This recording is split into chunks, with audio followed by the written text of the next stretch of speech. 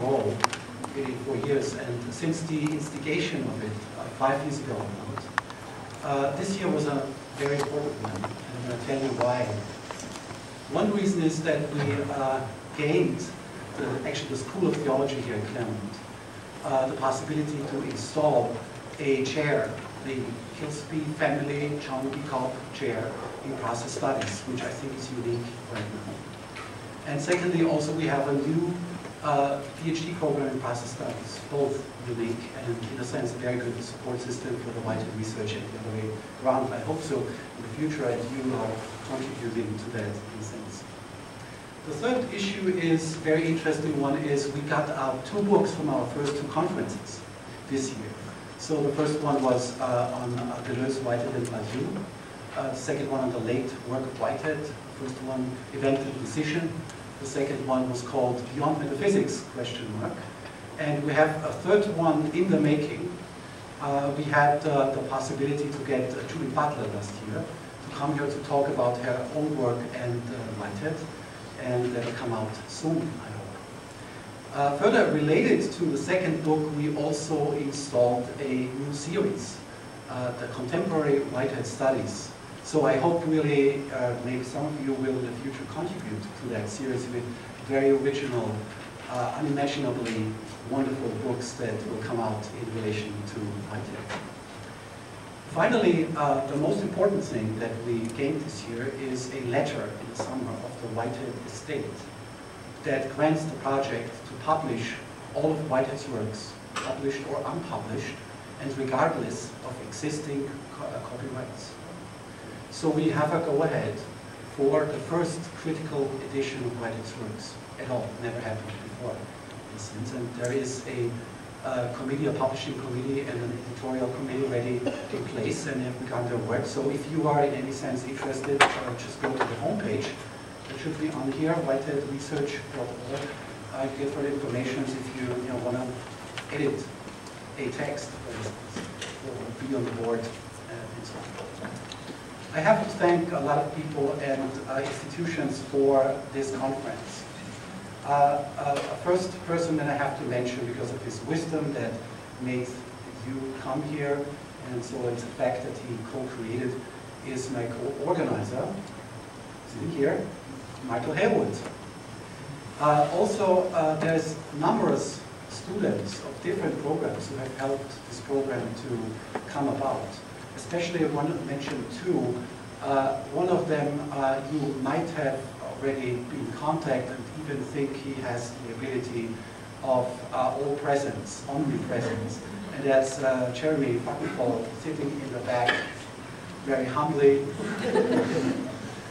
and then the other person I have to mention is Brianne Donaldson, and if you don't have seen her yet, uh, you will soon. Uh, she is, among other things, um, uh, made it possible that you got a very nice hotel. So for the, the persons who have been already the veterans, so to say, they know what I'm talking about. Um, there's also some uh, institutions I have to mention. The, um, it is a pleasure that uh, we have Julie Jones here, who's a participant, but also part of the uh, Kevin Hawking Foundation, who has greatly helped for the financial, financial let's say, fluidity uh, of that conference. And there's, of course, the uh, School of Theology that had housed uh, this afternoon's lecture or conversation with Isabelle Stengers, if you have been there. And there is the CGU, the Claremont Graduate University, at which we are right now, with several of its institutions that helped uh, financially and otherwise. So, for instance, the interdisciplinary division uh, also the School of Humanities or Arts and Humanities that help financially with the Bradshaw uh, Fund. And we uh, have also to thank the School of Religion of that university uh, for the most important thing, namely to use their facilities for food.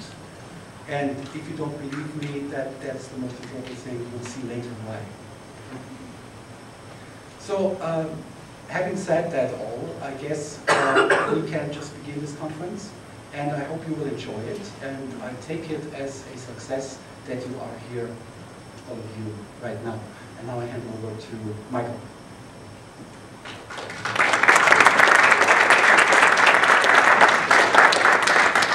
And of course, oh, and of course we'd like to thank Roland for uh, all his sterling work and effort continuing and over the past four years uh, with the Whitehead Research Project and all these conferences. As he said, I'm Michael Halewood. Um, I think you all know why you're here. We're very lucky to have Isabelle Stengers and Donna Haraway. I'll be as quick as possible. The format is that Isabelle's going to talk um, for roughly 35, 40 minutes. Um, then Donna is going to uh, respond, and after that we will have questions from you. So that's enough from me. We'll get going. Thank you. And thank you, to all organizers, invited in is something you cannot refuse when you are uh, interested in Whitehead. I go in the Mecca. so I usually I turn to the Mecca to, for my prayers. Now I am in it. so uh, my talk has for its title Civilizing Realism. Uh, philosophy, wrote Whitehead, never reverts to its old position after the shock of a great philosopher. We are not gathered to envisage reverting to Descartes or Leibniz philosophy, all the less so as they themselves did not know that they would be classified in the category of speculative philosophers. It may be said that with Kant creating such a, a category, a new proposition did enter our world and created as every new proposition a before and an after for all the experiences that would entertain us. As Whitehead characterized it, the question, what do we know, was transformed into the question, what can we know? Of course, such a transformation was never exhaustive. Again and again, original thinkers have escaped the restriction. Uh, among them, I believe that Whitehead occupies a very special position. Since we are gathered here about the question of things, I would illustrate this position by imagining how Whitehead, who once, it is told, associated reality with being in the middle of a rugby pack, would answer this question. Maybe he would just say, use sense. Not only Whitehead, as a speculative philosopher, never positioned himself against common sense, but it may even be proposed that the cause he was serving when he turned into a philosopher was the defense of common sense as attacked by theory. As is well known, Whitehead's revolt against what he named the bifurcation of nature was in the name of common sense, of what we do know, even if we cannot theoretically justify it. And we also know that this bifurcation still rules today, creating new absurdities or reproducing old ones under the guise of new great questions, such as the emergence of feeling of value from blind interconnection between blind and indifferent processes. How to understand the awesome capacity of what Whitehead diagnosed as absurd, its capacity to infect its environment again and again, producing a divide between what should matter and what we do not need to pay attention to. Whitehead himself provided an answer.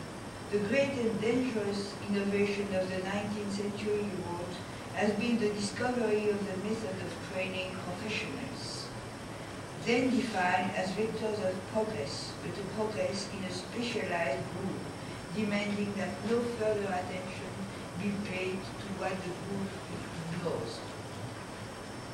But the question may then be raised of the way their environment tolerated what may be described as a general attack against common sense, the only agreement between professionals being that its protest, the protest of common sense, should not be allowed matter. And it may well be that such a question of uh, the tolerance uh, begins with the professional themselves. An interesting hypothesis, indeed, is that the power of, of abstraction, their misplaced concreteness, and the always recurrent, what can we know, critical question, are to be related to what Bruno Latour as described as a, a flying backward. The moderns, he wrote, would turn their back on the future they run towards, looking to the past, a mobile and frightening past they cannot distance, which will engulf them if they do not run. What us back to the cave has been the answer to protests, rather common commonsensical ones, against our very unsustainable development. And the cave here is not only that of prehistory, but Plato's cave, the realm of irrational beliefs, always ready to conquer, to conquer the present. Because of the cave, it would be our duty not to slow down and pay attention to the consequences of our actions for the future. It may well be that the power of professional abstraction, the only point of agreement of which is the disqualification of common sense, relates progress not with trust, but with fright. Installing of such a fright may be narrated, but no narration will explain the fright. It functions rather like what Whitehead calls propositions infecting experience. Each invoked justification is a food for the proposition, and this proposition has for its direct consequence the definition of progress as what must be imposed for their own good to recalcitrant, frightfully irrational others by those who know better. As we know, this has become the refrain for the colonial conquest of the world. But this conquest has begun on the very European ground and is still proceeding. Others are also us, and what we do do. The more a so-called scientific proposition hurts common sense, the stronger its claim to rationality. We deal here with what I would define as a very touchstone for what we may call, one way or another, speculative thought. Either speculation takes us still further from the others, verifying that our very strange adventure puts us again and again in the very classical position since Plato of getting access to a truth that would permit to guide the others out of the cave of, it, of the cave of illusions, or it helps our abstractions and those who deal with them to present themselves in a civilized way, that is, without insulting those we present ourselves to. The second option situates me and my interest for Whitehead, knowing that this option for civilization may not be sufficient because of the self-hate, mistrust and resentment that has been induced, knowing that it is the least we can do as philosopher and non-philosopher. Invoking common sense in this context is thus evoking a defeat, not some universal anthropological consensus, something everyone on this earth would subscribe to bringing peace and mutual understanding.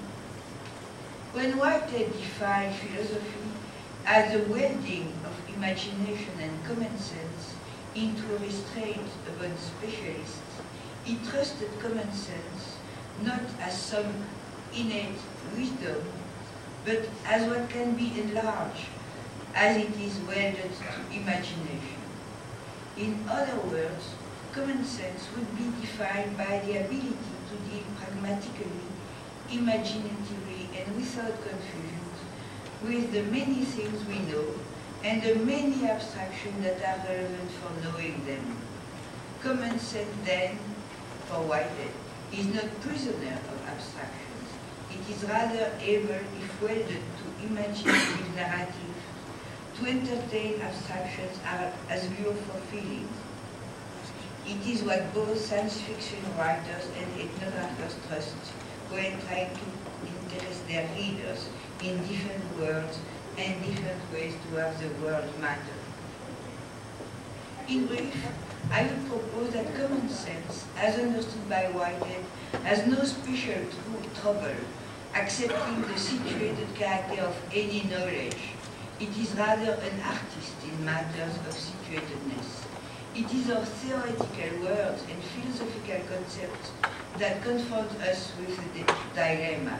Either they situate their user as the educators of humanity, or their users resort to irony, reducing claims, demands, and patience to a matter of, of a polite conversation. That is, they give up the value of rationalism as an adventure of hope.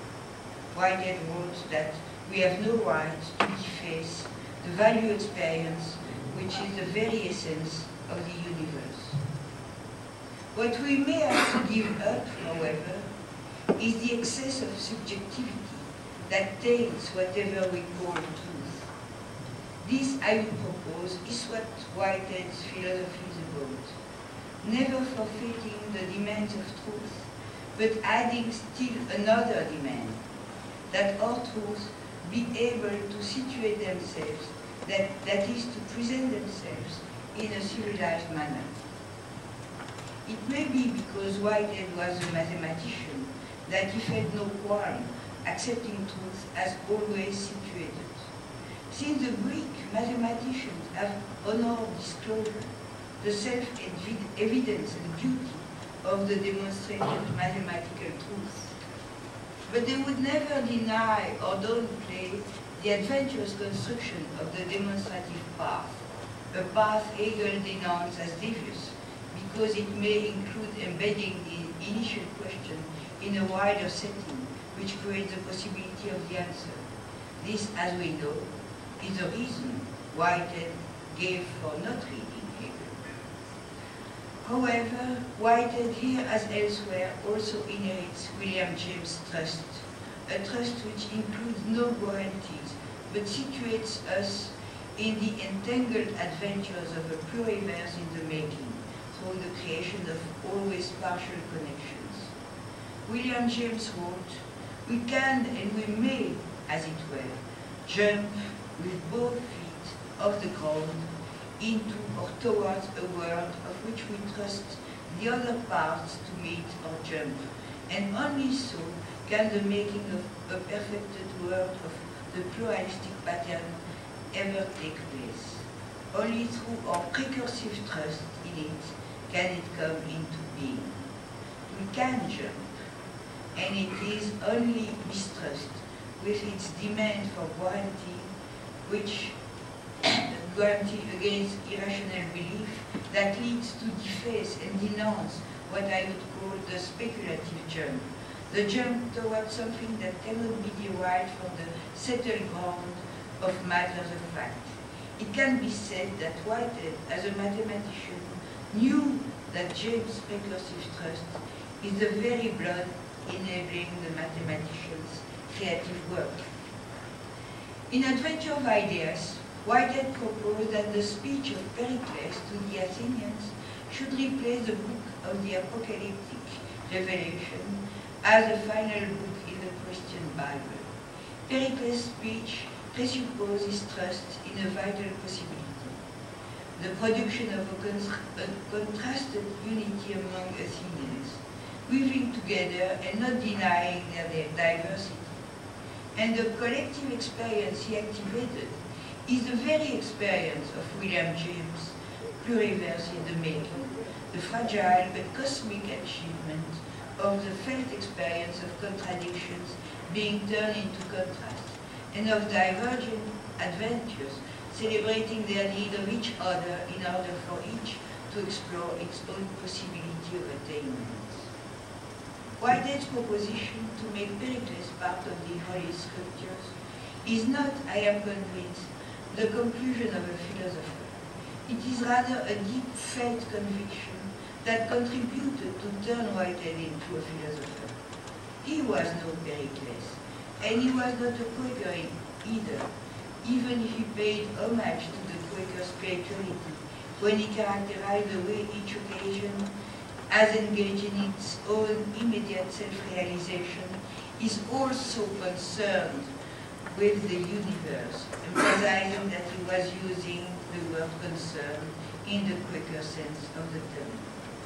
But he himself trusts the possibility to turn the unruly crowd of our conflicting concepts into a pattern of contrasts. Using Whitehead's own remark that two philosophers are needed for a philosophy, uh, philosophical school to perform its first service to philosophy, I would even suggest that Whitehead situated himself as the one who came after William James, reducing to rigid consistency James' exploration of experience. Furthermore, I would propose that Whitehead's adventure as a philosopher is itself a pluralist one, exhibiting uh, the relation between the Jamesian precursive trust and the experience of the mathematician, who knows that the jump cannot be dissociated from the ground lives. You never trust in general, and you never jump in general. Any jump is situated, and situatedness here is not limitation. If a jump is always situated, it is because its point is not to escape the ground in order to get access to a higher realm. For a mathematician, the jump, connecting this ground, always this ground, with what, is, what was alien to it, as the necessity of an answer. The ground itself is crying out for new dimensions. In concept of nature, a first cry resounds against the bifurcation. All we know of nature is in the same boat, to sink or swim together. It defines a speculative challenge as a commitment. There will be no halfway house, no psychic addition that unifies the beauty of the sunset and the, its objective interpretation in terms of electromagnetic waves. This cry unfolds the radical consequence of the definition Whitehead had initially given. Nature is what we are aware of in perception. Awareness is calling for a jump, but mutely so. Indeed, the constraint defining the towards of the jump is left undefined. Whitehead commit himself to speculative realism when he adds the following very commonsical constraint. I quote, we are instinctively willing to believe that by due attention, more can be found in nature than that which is observed at first sight. But we will not be content with less. Whitehead does not demand guarantees ascertaining the definition of nature. He demands that nature be approached as liable to reward due attention. He does not specify how we will discriminate the kind of attention which is due in different situations. He rather commits himself at the very point Kant, Kant took uh, the inverse commitment, writing that we do not learn from nature, but impose on it our questions as a judge with a convict. That nature must be such that the way we pay attention to it makes a difference is not a definition of nature as knowable. Certainly, when a mountain climber envisages a rock face in terms of the foothold it offers, she pays attention to the mountain in terms of possibilities of climbing. But the climber is not crazy. She knows that the mountains offer other opportunities, other footholds, for many other kinds of beings and grass, moss and fungi. As a speculative realist, Whitehead will demand that nature be such that it offers footholds that do not privilege our intellectual abstractions. Our perceptive organs are also concerned, and more generally the various equipments of any living being, as they all affirm that the lack of discrimination may exact a death penalty. The concept of object making ingression and the contrast between events, which when they are gone are gone, and objects which may be there again, are not some phenomenological rendering of our experience. They are the Whiteheadian answer to the call of what we are aware of against bifurcation. A very carefully crafted answer indeed, precisely satisfying Whitehead's realist demand. Very often, philosophers' initial commitment strangely enough, results in the production of some master key, as is the case, for instance, with the famous cogito ergo sum. Descartes took the cogito as his only ground for certainty, and it finally gave Descartes the means to escape all uncertainty and proceed to the at last, at last rational conquest of everything there is to know. In contrast, Whitehead's generality organized around the concept of nature are crafted in order not to conquer anything, rather to resist any demand that we define reality independently of how it matters for us.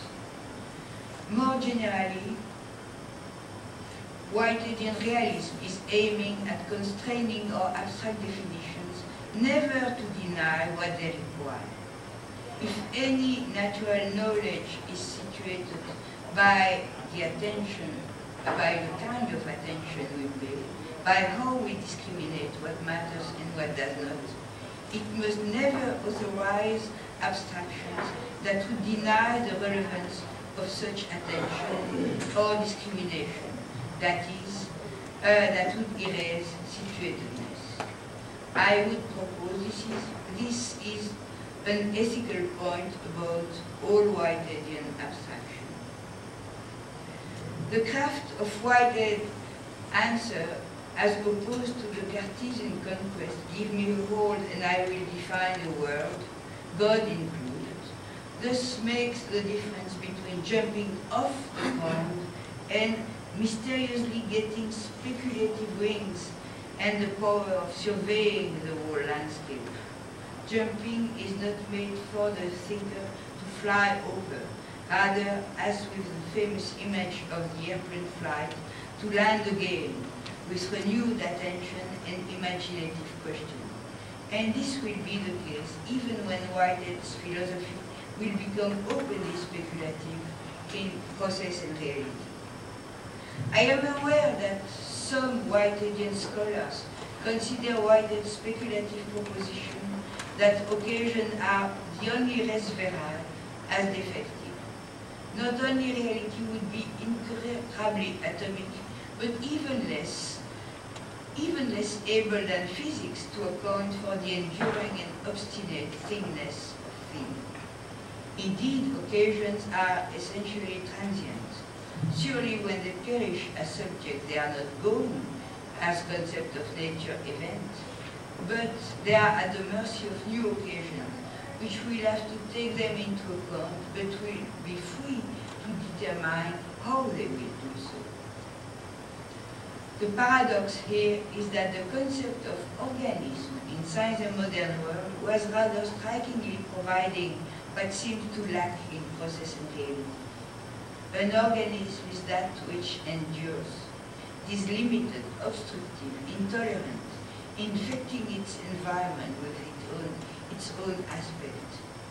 Value, as it corresponds to the mode of achievement of what endures, means first of all partiality, the drawing together in its own selected mode of the larger whole in which each enduring being is. In process and reality, organisms are still referred to. And Whitehead still speaks about his philosophy as a philosophy of organisms. But critics are right. Endurance and value are now divorced. Endurance designates societies, a derivative notion only, since it, it characterizes a nexus that is a gathering and not a real togetherness. Real togetherness and value now designate actual occasion, but actual occasions are not obstructive or intolerant. When they have passed into objective immortality, they are available to appropriation. However, there is no paradox if we admit that we deal with distinct, not contradictory, but contrasting jumps or leaps. Not only each Whiteheadian concept dramatically exhibits the general truth that any of our words is mutely appealing for an imaginative leap, but the leap, uh, his concept appeal therefore cannot be dissociated from the question that situates them. Organisms were the answer to science and the modern world leading question, that of the order of nature. This order is not what we are aware of in perception. It is what we depend upon for the maintaining of bodily life, what interpretative perception trusts for better and worse, as it is permeated, permeated with anticipation, and finally, what scientists put faith into when they do not just proceed by generalization from observed facts, but struggle to have these facts testify to a more general functioning that would characterize nature. That is, when they are realist. The order of nature is thus a matter of multiple concern, each with its own way of making its matter. The concept of organism is the attempt to answer to the call for a pluralist unity in contrast with our dominant scientific abstractions which identify unity as a truth beyond diversity. Whitehead's jump answering this call was radical in oath. Again, the abstraction derived from physics, it, uh, these jumps came to demand taking no continuity for granted, rather defining any endurance as a particular achievement, with its selected value and always dependent on what Whitehead called the patience of the environment with regards to the way an organism infects it, to the role an organism assigns to it. Whitehead proposing organism as a unifying concept may be correlated to the task he assigned to philosophy, to take care of our modes of abstraction. The choice of terms like infection or patience is deliberately crafted to call for intuition against the authority of explanation. Any explanation or justification requires the endurance of what they explain.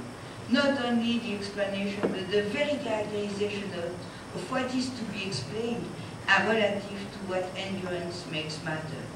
They are situated as they require, as they require and take advantage of what uh, we cannot ever be, we cannot ever take for granted.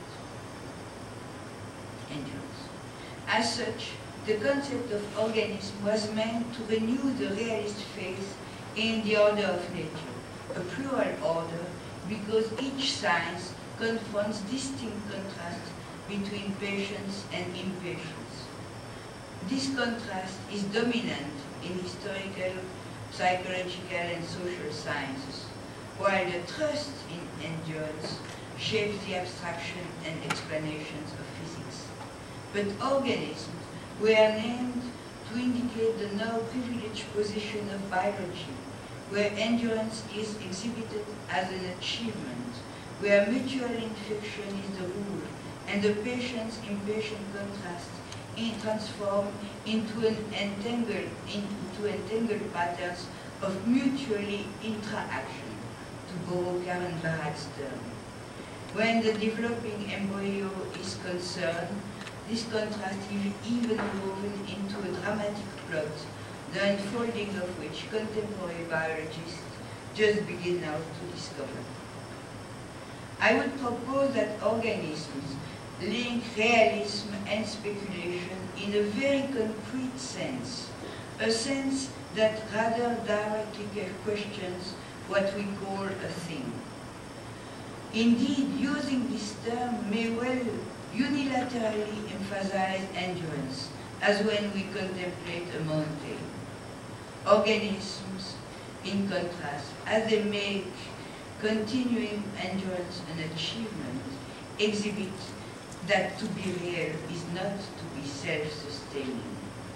Contemplating a mountain, or for that matter a spoon or a chair, corresponds to a particular uh, to a particular case. It is to address uh, uh, the general case is to address a thing. Uh, no, it corresponds to a particular case, contemplating a thing and maybe wondering what we can know about it. The general case is that addressing some being as real is a matter of speculative concern. What does this being require for being itself? What may disrupt its way of enduring? Scientists' claim for realism is verified by their very concern that the environment they impose upon what they address in order to question it does not irreparably distort the answer they get. The problem is rather different for the police inquirer interrogating a suspect, for the marketing man wishing people to buy what they don't need, for the political activist trying to activate citizens' impatience, or for the therapist helping somebody to escape an enduring sufferance. But whatever the concern, there is no answer without a groping, speculative experimentation, as when one gets acquainted with somebody, with her zones of robustness and her zones of fragility. Speculation, not contemplation or vision, testifies for the reality of what we address. When Whitehead made actual occasion the only res vera, he took a last daring jump, but again a situated one, which may be associated with the demand of what he calls the metaphysical standpoint. I quote, in Science and Modern we will forget the peculiar problems of modern science and will put ourselves at the standpoint of a dispassionate consideration of the nature of things. Organism and the order of nature will then become particular application. The introduction of the new name, society, for what endures, may well be indicative that that social and historical sciences, not biology, have become the leading reference. While endurance is a matter of wonder for biologists, it calls for a dispassionate attitude for the social scientist. What matters instead is the possible as such, as exhibited by stability and disruption, hope and despair, rebellion and repression, claims and doubts, propagation of new ideas and justifications of their silencing by the need to defend society. What I would insist upon is that dispassionate consideration does not refer at all to a vision of truth beyond the illusion produced by vision or partiality. The obstinate endurance of organism is no illusion. Endurance is derivative because of the very passionate partiality of the goal which Whitehead now and which Whitehead's new jump was answering to. The ground Whitehead is now jumping with both feet off demands that the possible as such be justified, as well as a hope for relevant novelty, without which there would be no jump. Correlatively, forgetting peculiar problems of science, for instance, does not mean that accessing the nature of things demands reaching a contemplative experience when nothing matters any longer. It rather means that something else is mattering. What matters now, what must be civilized, is philosophy itself and its addiction for a truth beyond illusion. The challenge of a dispassionate consideration is thus emphatically not entailing a jump towards a hidden reality behind the scene. The first definition of res verae is that they are creatures of creativity, and creativity is not some supreme truth, but what must be equally and without privilege exemplified by any of its creatures. Any is now the challenge.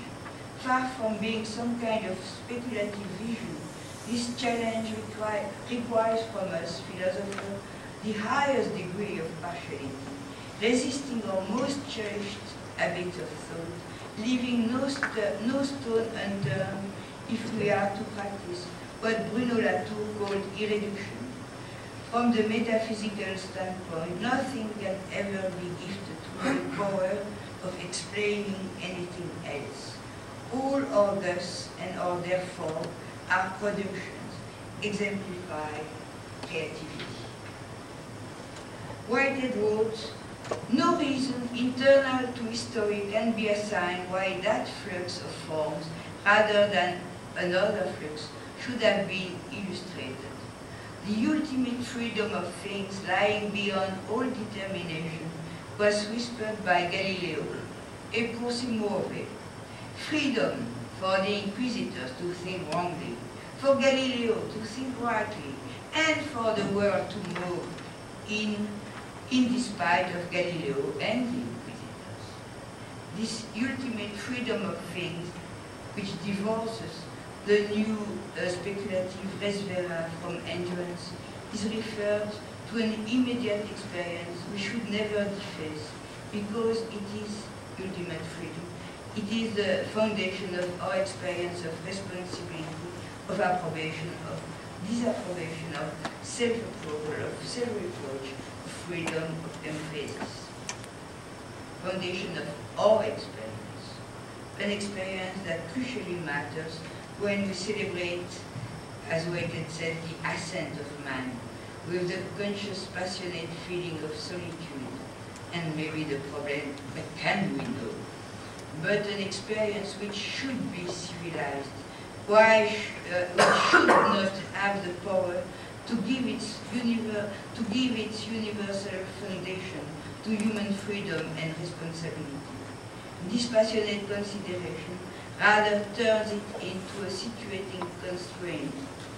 If our own adventure puts such an emphasis on individual, individual freedom, we should not justify it, but go all the way with it, never denying it to anything we name real.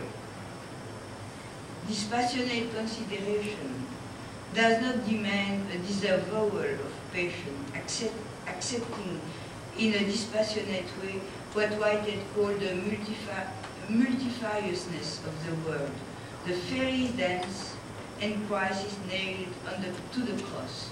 And I would add, philosophers claim we are prisoners of Plato's cave. Whatever are many ways to access what we call reality, they are all passionate, as they all imply learning how to pay due attention, and accessing metaphysical reality is no different.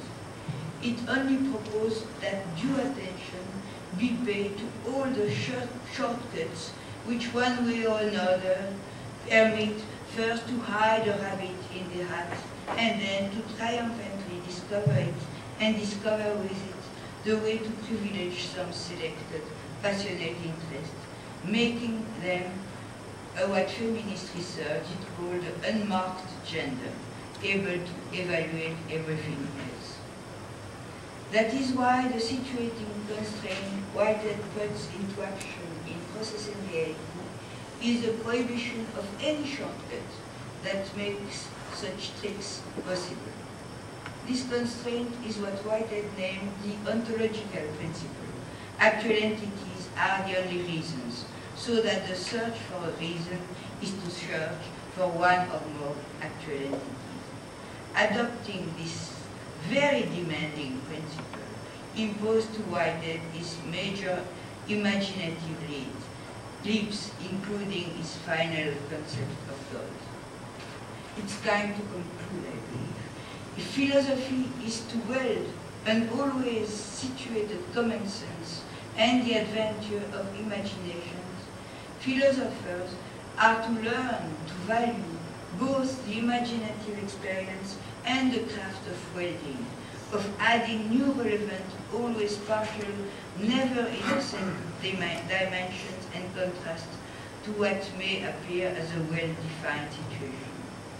Daring an openly speculative realism in process and reality, Whitehead did not dream the usual philosophical dream of converting everybody to philosophical truths, getting them, everybody out of the cave. He, he rather designed a device, or what he called a matrix, uh, that would enable philosophers to learn this craft of welding, to learn how to tell stories that would open common sense to the adventure of a world in the making. This, at least, is how I did inherit Whitehead, and the irreducible plurality of the answer I proposed to what may seem to amount to the same question, what is reality?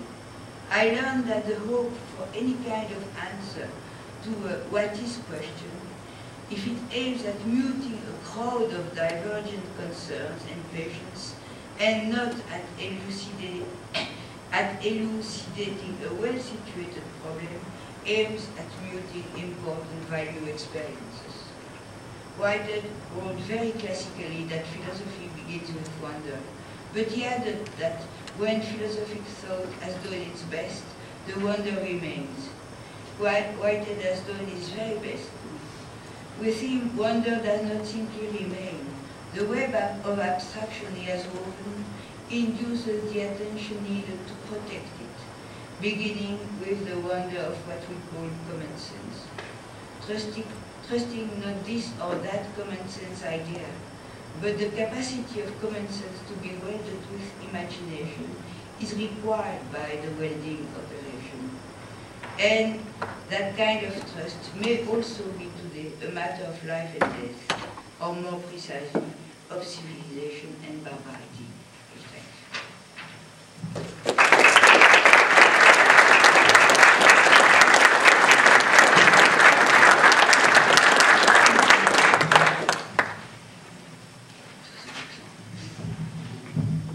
Can you hear me? First of all, uh, I want to thank Isabelle uh, profoundly for a really beautiful as well as fun paper, a kind of provocation to the sort of curiosity that I think she's elaborating for us. And in some notes that she sent me, she talked about having learned mathematics uh, with one, having with one who taught her to learn to love something, to become available to something as a kind of act of, of jumping, of learning to trust. And I've, I've found Isabelle's work over many years now a kind of provocation to jump from somewhere, to take a leap um, in the face of what is perhaps more of um, a, a temptation to fright, I think, in our times than perhaps ever on this planet.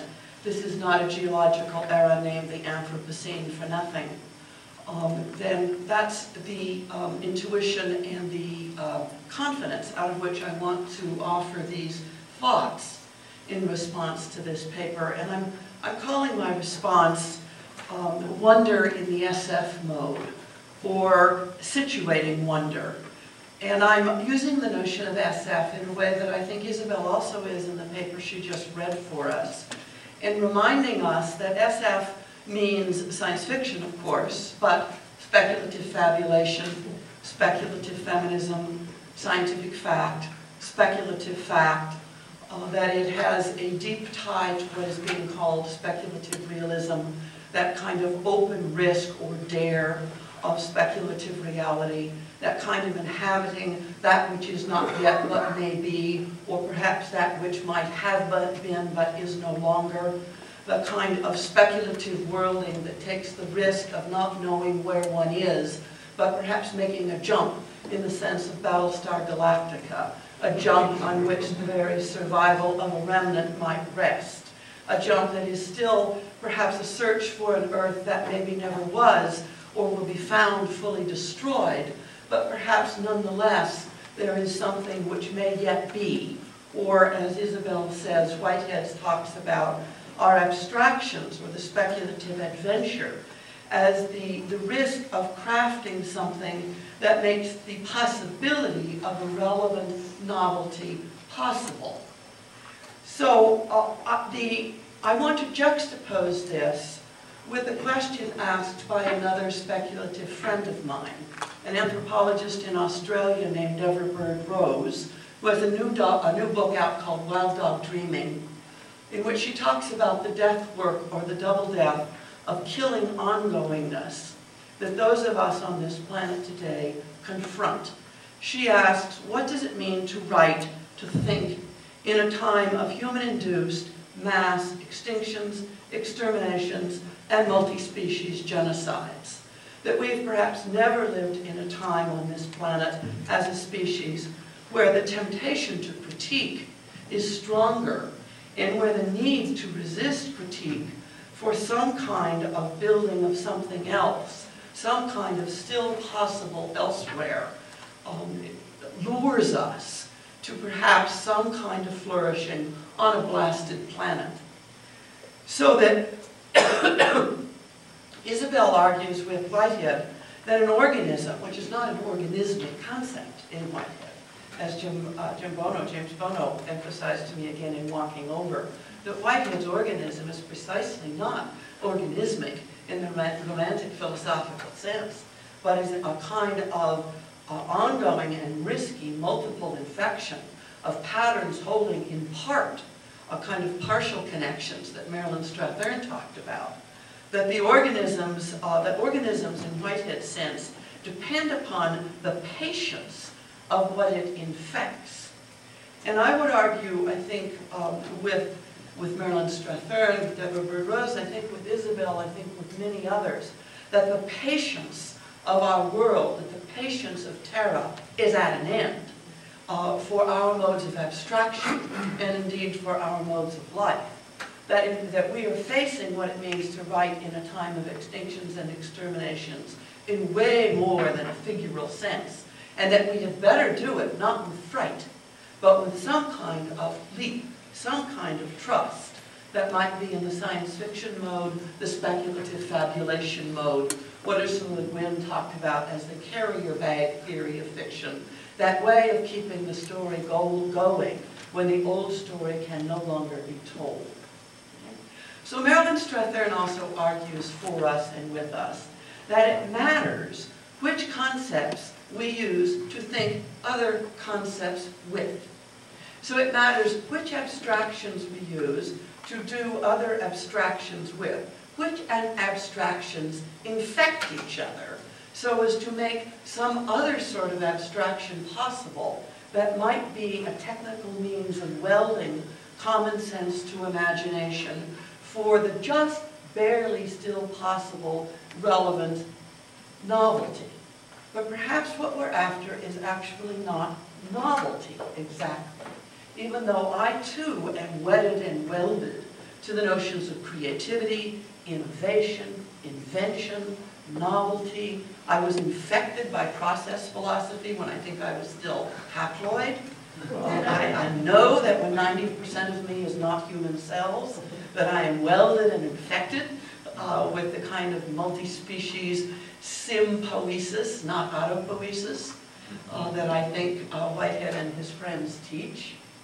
Nonetheless, I have become more and more and more suspicious of what Lee Edelman in his book on reproductive futurity might complain about in the way that process philosophy grew out of, has as its matrix, its field of possibility, the figure of a child, the notions and practices of progress, the privileging of the new and the invention, and what is to come, and facing the future, and that somehow inheriting the past has to be about facing the future. And these figures and practices of futurity and creativity and invention and novelty are perhaps what Terra has lost patience with.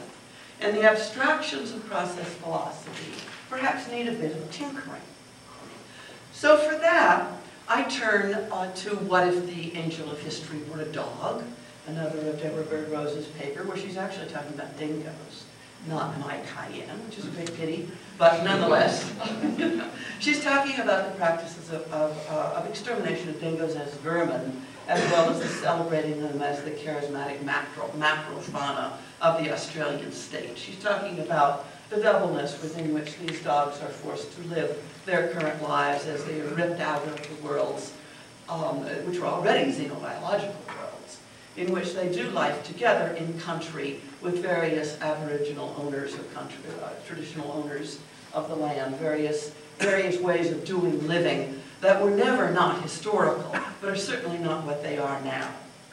Now, Deborah Rose, from her teachers in the Yarralin area of Northern Australia, the Northern Territories, talks about a set of different way of thinking temporality that I want to juxtapose to some of the notions of temporality and futurity that I think Whitehead's abstractions uh, are still very much um, infected by, both in the good and the bad sense of infection.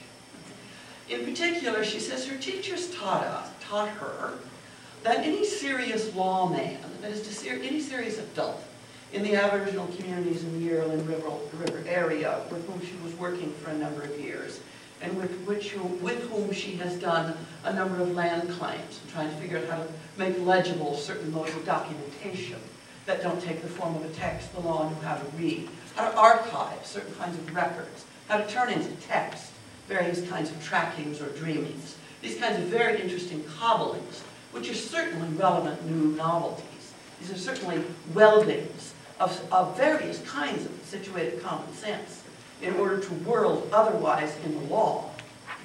She says the lawmen who have instructed her said, look, any serious person, any serious adult in the world gets it that his or her obligation is to face those who came before. To face those who came before, which is not the past, but it is the, the, the time of worlding, the time of dreaming, and the way it comes to us in Anglo-English, in, in, colonial Anglo-English, it's the dreaming. But it's that, to face those who came before, who are in a kind of temporality separated from what might be called uh, by Anglo-English speakers the present. But the present is not this vanishing pivotal point that is always this, this place of instantaneous transition. It's not the present in the sense of, of the time that Whitehead complained about with its misplaced concreteness. It's not the time of physics. It is, in fact, a rather interesting hundred-yearish time. It's the time of, you can still tell the stories that somebody living heard from somebody who was living when they heard the story. It's the time of living storytelling. That might be the present. That is the time of those whose obligation is to face those who came before, so as to practice those sorts of things that leave the mark of the care of generations to those who come behind, whom you never face. Um, that the, the generations to come are those who literally come behind. And your obligation as a serious person is to live in this time of living storytelling, to face those who came before, in order to leave the marks of the care of generations, a continuity of caring practices. But that continuity of caring practices is never, uh, one cannot know in advance what they have to be. Um, that the continuity of caring practices, however, are what will leave quiet country and not wild country to those who come after. So what would it be to leave more quiet country rather than wilderness, which for the teachers that Deborah Rose was talking about, wilderness meant the erasure of the marks of care, the, the massive erosions, the double death, the, the production of extinctions.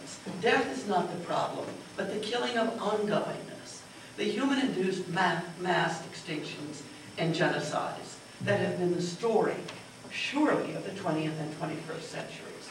Perhaps not uniquely. There are other times of extinctions and genocides. But our times, what shall we call them?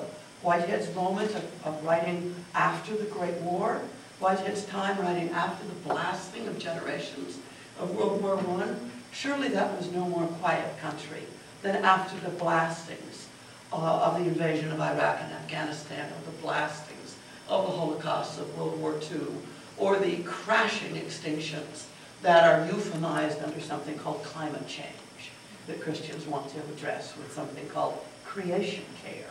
And then there are the sneering scientists who have nothing to do with creation care. Um, very, oh, that's, that's getting me off track. but what I've done here, in a very condensed way, is talk about another set of idioms for a situated common sense that does a certain kind of temporality, that does not privilege futurity. It doesn't privilege relevant novelty. It privileges rather relevant, um, uh, relevant tracking, those who came before, which is everybody's as bit as much, I would suggest, an inventive practice or a welding practice. It is a crafting or a worlding practice. But it specifically doesn't invoke the figures of creativity or of futurity, or of the risk of the great adventure of what comes next. Now, I'm not suggesting that I or we or Isabelle or Whitehead or anybody else walk away from, I think, the extremely rich inheritance of the ways of doing temporalities, including futurities, um, including these sort of queer, non-reproductive, multi-species, infectious ways of doing generations that we can even do now quite technically. There is a way in which evolutionary ecological developmental biology and its biomolecular apparatuses can actually do something other than heteronormativity that our queer theorists have only dreamed of. Uh, there is a way in which I continue to learn from the idioms of biology in, among other things, my family forming practices. Uh, these ways that speculative feminisms and speculative uh, theorizings, the speculative whirlings of the SF world, in which I include queer theory as a fundamental uh, you know, contributor to, to all of this. I'm not suggesting that we walk away from these multiple inheritances of infection, but I am suggesting that if we're serious about living now and here, not in some kind of carping, critical, moralistic, weirdo, post-colonial, uh, you know, why aren't you talking about the Australian Aboriginals? Not that kind of scolding, you should be doing something else. But rather, it is no longer good enough. It is no longer true that we don't know more than we in fact practice.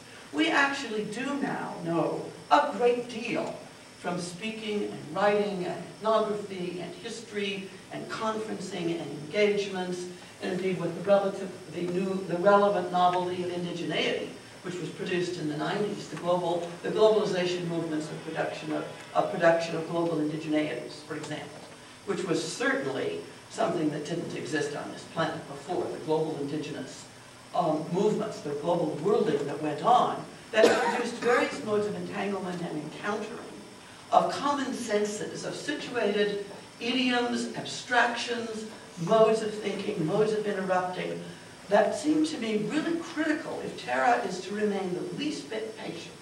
That it's no longer okay, in other words, for philosophers in particular, or scientists, biologists, or folks like me, it is truly no longer possible to say, but this is what I learned, and this is what we got from Pericles on. And these are our abstractions and we need to take care of them. I believe that's perfectly true. We do absolutely need the practice of the care of the mark of generations and taking care of our abstractions. But I think we are not very good at getting it that the questions require not just the inventions of new abstractions out of this toolkit, but learning other people's abstractions. Uh, Isabelle has been very good at learning the abstractions of the neo-pagan witches. And if people in this room think that talking about God in the Academy is out of line, I dare you to talk about the neo-pagan witches. or to be serious about the goddess as an abstraction of serious, that is seriously needed in talking about something like disclosure, or in somehow making someone like Heidegger no longer quite so poor in world. Um, that, that if one is really serious about the kinds of um, um, the kinds of interrupted and entangled abstractions, it's no longer good enough to do this from the Greeks on. And we know more than we let ourselves know. We have colleagues, we have friends, we have conferences, we have books, we have all sorts of stuff. Not to be the scolding post-colonial, but actually not to let philosophy or science or any of the rest of it any longer be that unmarked set of categories um, that uh, our, our abstractions are too poor in world. So if we're going to take that leap of trust from our own situated ground, that is to say we do know something. In fact, we, we know rather a lot. And owning up to knowing something is the only way to be a serious person. But owning up to knowing something about living and writing in a time of human-induced mass exterminations and mass genocides is actually about figuring out what those other abstractions are to think with if Terra is not to totally lose patience with these organisms uh, whose endurance is now seriously at stake. So that's what I mean by the SF mode, or as a, a graduate student who recently finished in my world called in a dissertation, far-fetchings on and in the SF mode. He was working with Ursula Le Guin's far-fetchings and her notions of talking backwards and her people who have their heads screwed on backwards. Well, I, I'm kind of interested in screwing our heads on backwards in Deborah Bird Rose's sense, to wonder what process philosophy might be like if we weren't so much looking for relevant novelty as what? Relevant something else, somewhere, it's not a relevant past, but it's something that isn't quite so enamored of the new and of creative and of whatever it is that the West thinks it does, which has done, which it has done such that Terra's run out of patience. That's enough.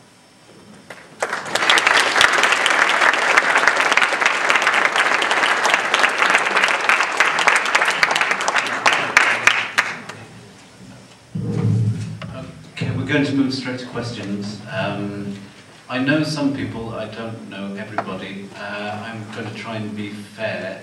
Um, so, uh, who wants to go first?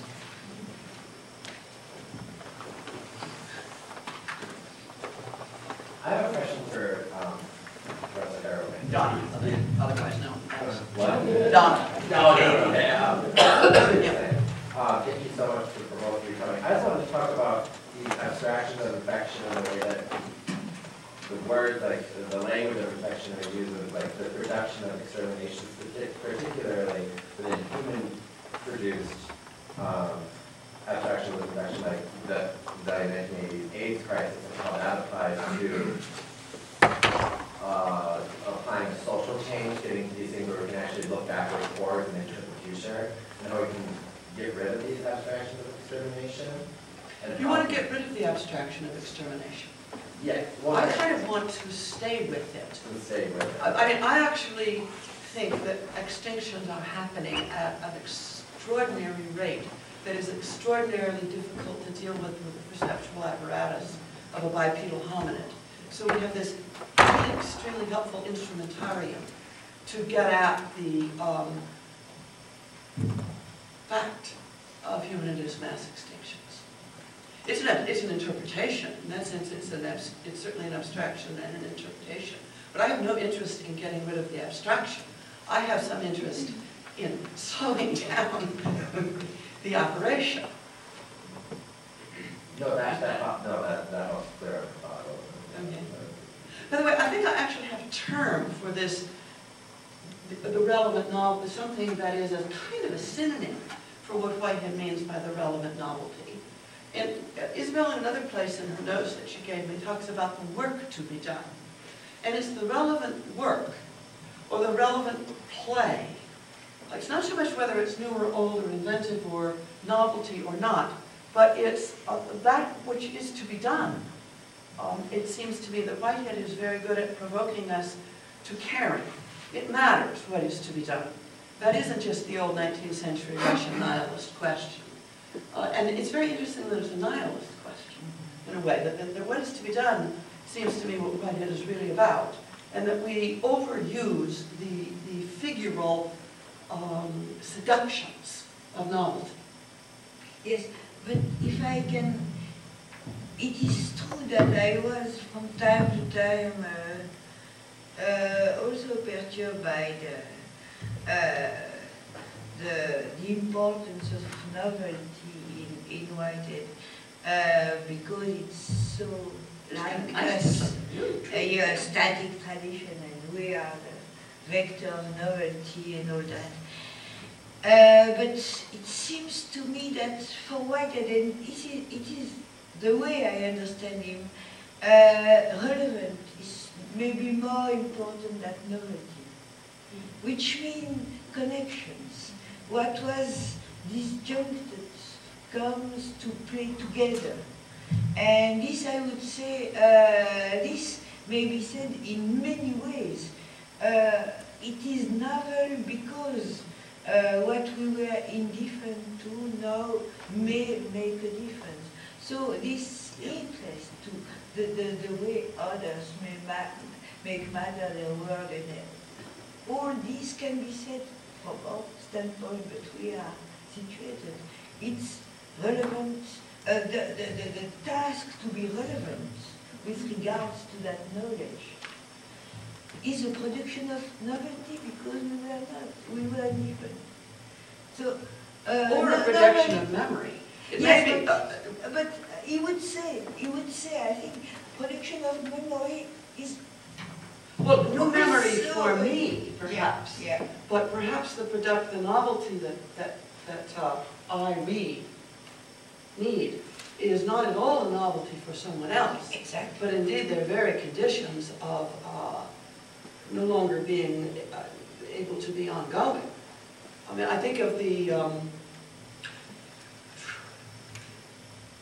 for example, the earth, the the recent earthquake in Haiti, uh, and the, um, the, what, what it takes to produce a relevant novelty in the North American public in terms of getting a grip about what is not a natural disaster, um, in terms of getting at the connections that are so built into the situation, uh, that the grasp, somehow coming, the grasp of that might be a relevant novelty for those who are brought to care. Um, but it's the, but, um, it's the grasp of the conditions of living and dying. Uh, and I don't know if that's making any sense, including what constitutes flourishing. There's plenty that's novel here, but it's not all to be invented. Some of it is to be learned uh, as a first grader because, because it is well known.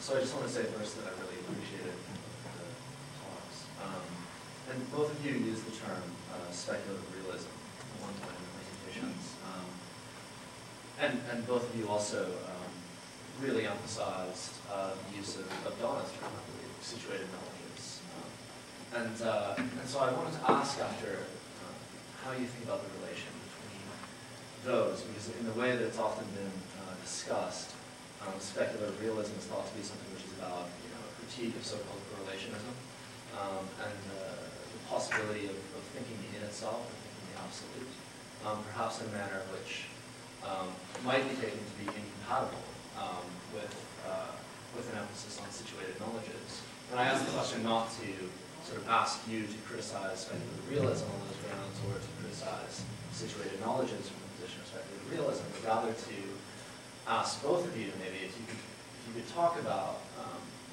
how you understand uh, a kind of situated objectivity. Donna, you've just mentioned uh, a very helpful instrumentarium, uh, which expands our uh, perceptual capacities. Um, and Isabelle, you've mentioned, uh, you know, Whitehead's great passage on the sunset, the concept of nature, um, and amplifying again what we know about the natural. Um, and so how both of you think about technology and science um, as a production of sort of situated objectivities, um, if, if indeed that might be a way of thinking about it. Well, I, I think that uh, uh, my efforts, Donna efforts, other people like Bruno Latour efforts, is to make uh, uh, non-separable what we call objectivity and equipment, and to make it not contradictory, to, to separate with the dream light of some kind of objective vision by separation from illusion. To say objectivity is produced and happily so. And it will, it is, it is the more interesting, the more uh, the, the way it is produced is, uh, is understood. So uh, objectivity is not a philosophical theme. And it has nothing to do with thing and the thingness of thing. Objectivity is uh, objectivity is always situated, it is always a matter of concern, and as such situated by the kind of concern, while maybe a, the thingness of thing may be a matter of many concerns, of a plurality of concerns. Uh, Yeah, I mean, Isabelle and I play cat's cradle with each other. Uh, This relaying of string figures, uh, that where the patterns really matter. Um, And I think both of us, and I, and I think Bruno Latour and many others are committed to the notion that the last thing in the world anybody needs is explaining something with, by something else so as to explain it away. And that the- the- certain kinds of correlationism strike me to take that form. Uh, in certain kinds of, uh, certain kinds of critical practice, very important and dominant kinds of critical practice, uh, with, with which we can do without, that's needless sense. Uh, that, uh, that the, to take something seriously is not to explain it by something else, is to be at risk to it, to be available to it, to somehow um, be undone and redone in the uh, encounter. And that's a kind of, that I would regard as speculative thought, something like that. And it certainly will involve all sorts of operations, maybe even including certain kinds of statistical correlation. I don't know, that's not the problem. Uh, But uh, the, the- that, that um, being at risk to the thisness of something uh, before running off to try to explain it in terms of something else. Uh, That uh, is one of the things that Isabelle and Bruno taught me to say. Now, speculative realism is a term I'm learning to use in a sentence. Uh, And I feel like I, I need to use it in a sentence 10 times as some sort of staying after school assignment. Uh, I'm being facetious slightly. It strikes me as the new kid on the block that has adopted a label for itself. Now I'm really being mean. All kinds of extremely interesting things are going on under that label, however. Okay. So I am tempted to try to live on the block and see if I can rent out an apartment.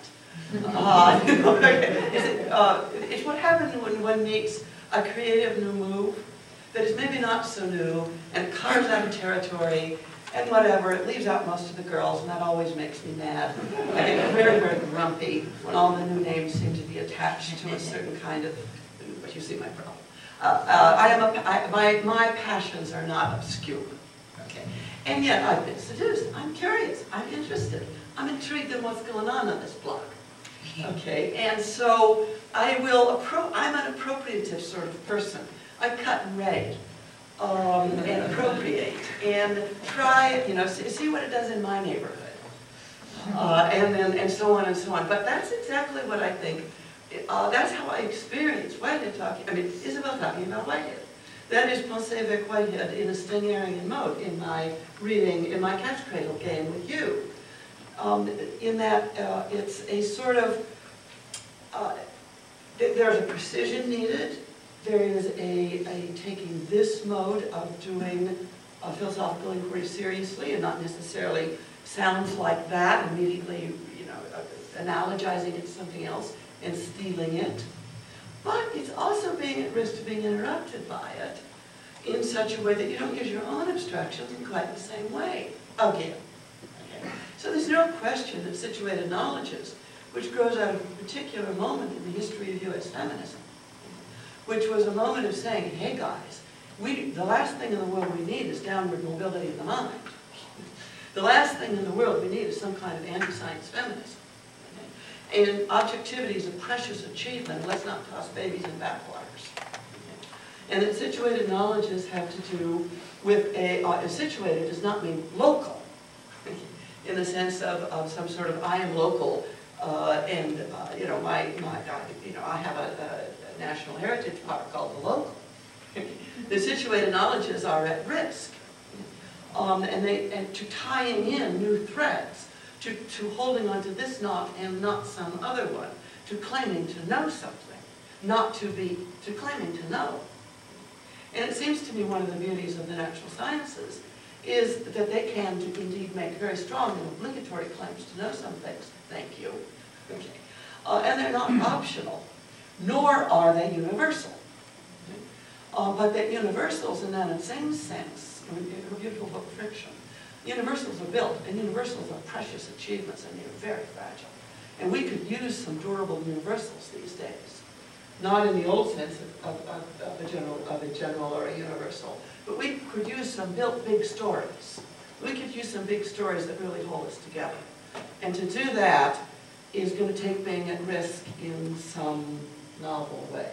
So that's what I mean by situatedness. Um, and, and truly speculative realism strikes me as a, as a relatively recent um, proposition of a holding together that is partly oppositional, certain other currents in, in philosophical toolkits, but also partly invitational. Mhm. And I'm kind of more curious about the oppositions. Is why I'll even still hold on to Heidegger's Open, in spite of all my trouble. But I'll hold on to almost anything that still is presented as an invitation.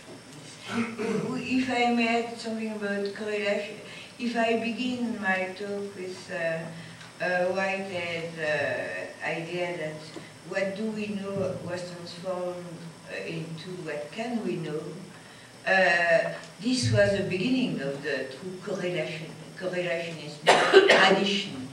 So uh, my curiosity, because I it's a novelty and I, I, I am not completely, uh, I am, I am here also to listen and to understand, is how much, uh, is it not still in the what can we know tradition? Or is it escaping the what can we, we know? Is it accepting Kant and then trying to escape? Or is it, as, well as I think what they did, trying to, to, to, to be, to, to, to answer to all what we know anyway. So, so this is my, my, my uh, I don't know what I'm thinking about uh, the new uh, speculative realism thing because I balance between a dramatization going on with Kant's proposition that is needing the correlationist opposition in order to, to, to speak, or uh, a new way to, to, to articulate what, what do we know. Uh, we have Jim and then Judith. Um, I just wanted to come back to um, uh, Don, Don's, Don's comments about uh, temporality and maturity, uh, and I think that the, the dramatic intervention that you make uh, uh, with them, I think certainly the way in which you contextualize it in terms of a you know, you know, set of social, political practices and continuities in the past, I think make it a very important and relevant question to, to be asking. And I wanted to uh, you take up uh, what Isabelle was talking about, about relevant novelty, because it seems to me, uh, I mean, I quite agree with you, Don, but it seems to me also that in Whitehead, we don't have novelty as novelty, we have novelty always in connection with inheritance. So that it is that, in fact, one cannot have novelty without inheritance because it is only to the contrast of the data that, that, that, uh, that is the things in the world, in a sense, that are brought together in this new occasion, uh, that one can have novelty. So novelty is always crafted uh, in and through inher- inheritance, whether one wants to call that past, temporality, what- what- what- what- whatever.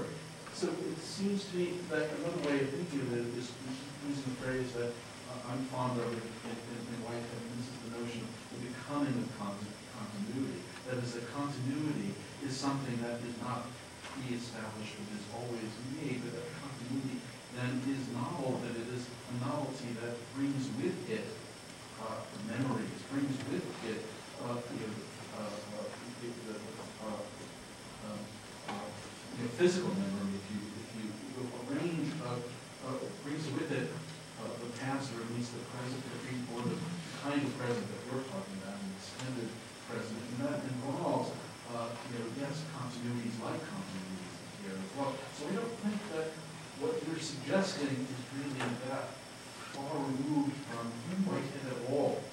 I think it's not an opposition, but it might be a contrast worth staying with. And also, I think that, um, that becoming of continuity sounds a little different if one says becoming with. That all becoming is always becoming with. With that, with that, um, not known in advance and not preformed in advance, exactly what Whitehead is doing. His abstractions allow one somehow to think that the partners truly are not pre-existent entrants into interaction, but in Karen Barad's sense, really are um, uh, in, in, in, in action, and that also one never starts from zero, that it's turtles all the way down, one never starts from scratch. Uh, and I, I think of the way that, um, in, in Bruno's paper called Will Non-Humans Be Saved, he talks about St. Darwin. It's a really nice passage. And he talks about uh, the understanding that, um, which I think is Whitehead's notion of, of organism, that uh, from the point of view of Darwinian biology, which has truly never been digested, is yet to be understood in its radical, non-futuristic, non-teleological, non-organismic sense, that uh, every single act of ongoingness, uh, action of ongoingness, is a becoming with that is at risk, among other things, for not continuing. And that um, the, the really normalized and domesticated and trivialized and tamed, um, which for a person who defends the domestic is really a bad set of metaphors, that to go on. Nonetheless, the, the, uh, these bad senses of domesticated and tamed notions of reproduction were not Darwin's. That every organism is a risk in, in uh, a risk in uh, ongoingness, um, and that uh, what what that the, that uh, time is never the same as it was, and never guaranteed. Um, that's much closer, seems to me, to what Whitehead's about. In fact, it is what he learned. To me, it is, it was what he learned from Whitehead most crucial, it's, uh, that any continuity is a reproduction. With the, o- o- o- the always risky character of reproduction. Or what Judith Butler might is a re something. It isn't, um, That's a word he used. I know, I know. I'm not sure it's the best, but it's a word he It's how to used. use these words seriously while interrupting at the, it, using them seriously and interrupting at the same time as using is a way, it, it's the, not irony, but a mode of, um, it seems to me laughter is a really critical philosophical tool. And that every single one of our abstractions must be used seriously and, and must be laughing at itself in its very use. Uh, in some way that the very statement of it is a bad joke. Something, A matter of slowing down, that's Isabelle. yeah. Uh, we- I'm keeping an eye on time, so Judith and then Levi and, and Roland, but we are running out of time, so, um, I'm glad to get on the heels of your turtles all the way down, because I'm wearing turtles all the way down. Or turtles in the round. Um, I, I, I'm so struck by the, the, the sort of um, fertile dynamic of this sort of quasi-debate about, you know, the, the sort of, is there sort of an excess of futurity in at least the metaphors and some of the constructive tools that we have in the process, um, tradition in Whitehead, versus uh, an understanding of, of the notion of novelty and futurity as, you know, pardon the word, grounded in the notion of relevance and reproduction and continuity, et cetera. And, and it strikes me that maybe the way, it doesn't feel like there's an overall disagreement, but a moment of something coming out of this. And I wonder if the place to attend is that for both of you, and both of your work and what you've presented here tonight, um, the question is one for us, right? It's a, it's a question of present urgency as to what we do as philosophers, right? And, and we, you know, it's kind of been traced out in this kind of formal lens about what are the conditions of talking about the kind of novelty language or the, the relevance language, but really how we're going to do this as philosophers is a question of some kind of effort now, some kind of again, part of a volitional act, but I'm not particular model of volition, but some kind of, That. yeah. Um, and. I'm wondering if maybe, I'd like to hear either of you comment on, on the, the fact that maybe the, the place to resolve this or bring it to the next stage is to talk about the effort, the, the volitional, the, the, um, uh, the laborious dimension, because that's where it's we- we- to get concrete, if, if we're talking about the project of memory, you know, and trying to valorize that, um, one has to make an effort at that. The, the kind of, you know, memory that, that you were bringing up, it doesn't just happen. Someone has to do it, or it's not going to happen. I think it's about play. I, I think volition and effort may be a bit misleading because there is no dynamics in that. But I think what, what needs effort is daring to, to, to get out of the purely uh, philosophical tradition. Uh, Donato about my interest for neo-pagan witches. And to